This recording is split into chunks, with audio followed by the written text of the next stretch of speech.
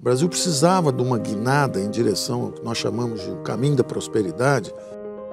Temos mais de 860 bilhões de reais de investimentos já contratados nos próximos 8, 10 anos.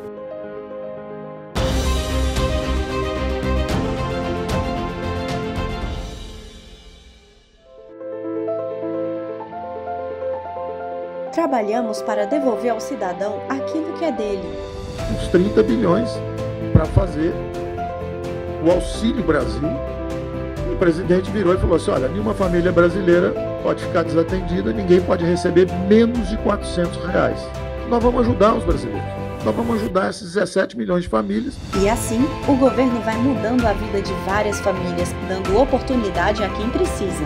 Nós estamos hoje aqui no Cristo Redentor, não haveria lugar mais icônico para a gente assinar a parceria com a Prefeitura do Rio de Janeiro para iniciarmos o processo de regularização fundiária do Complexo da Maré, uma área que é ocupada irregularmente desde a década de 40.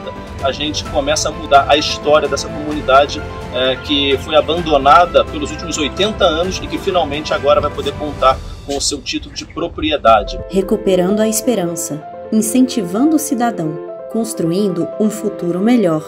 Capitalizar o Fundo de Erradicação de Pobreza, que já existe também. Nós vamos deixar esse legado para gerações futuras e vamos distribuir esses recursos sob duas formas.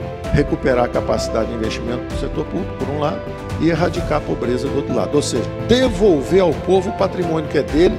Um sonho. Um sonho assim, sabe? Já estou com 52 anos, o título da terra nas minhas mãos é a minha felicidade única. Esse novo cenário possibilitou a geração de 12 milhões de empregos, alcançando um dos melhores patamares da última década. E é assim que se trilha para o caminho o caminho da prosperidade.